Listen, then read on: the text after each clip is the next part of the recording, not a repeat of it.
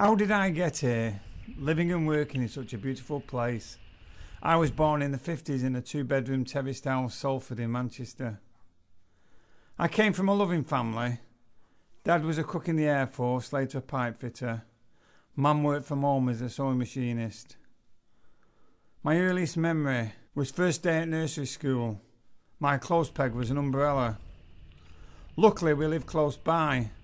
Mum tells me the only way she would get me to stay was by sticking my dummy through the nursery railings at dinner time. Scrapes we got into in the school summer holidays. Spending all day digging up a railway sleeper from a disused line and dragging it home along the canal to our bonfire. Suddenly, my brother Alan, who was aged about six, me being ten, falls in canal. I jumped in to save him. Only snag, I couldn't swim.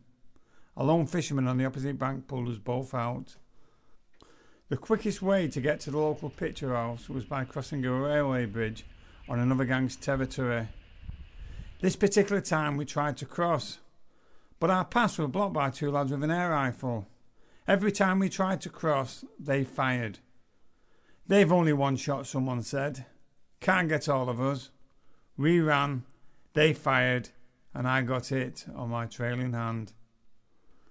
Football has played a major part in my life. My earliest memory was the Munich air disaster. We lived near Old Trafford. I remember a neighbour cycling to the club to read the updates pasted on the club windows. They're knocking on our door telling us about the progress of Matt Busby and team. We didn't have the news saturation we have these days. Leaving school at 15, being employed as a fitter in a local asbestos factory, was my rude awakening to working life. This was the time when people were learning how dangerous asbestos was, but the people who worked there thought it was a job worth holding on to. This did not mean they didn't have a sense of humour about their situation.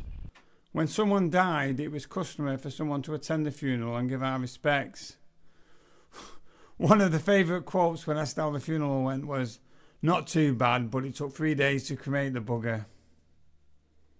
A busy, fulfilling life, raising two great lads, a loving wife, getting involved in the local community, being a counsellor, and running a local youth group for 20 years, and a lifelong love of music.